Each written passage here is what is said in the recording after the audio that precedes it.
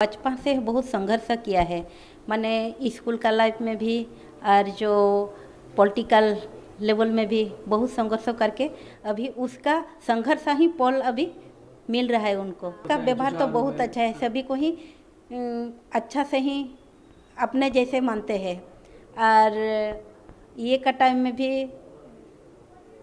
बहुत अच्छा ही होता है। जब पढ़ने के टाइम में भी ना संघर्ष तो बहुत ही किया है।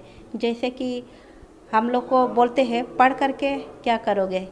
इसीलिए वही बात को ये नहीं करके वो पढ़ा।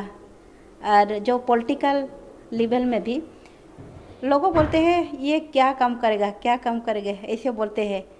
और इसीलिए अभी देखा दिया। द्रौपदी मुर्मू के बारे में जान के हमको बहुत अच्छा लगा। वो हमारे गाँव से है और हम सारी स्टूडेंट के लिए वो एक प्रेरणा है।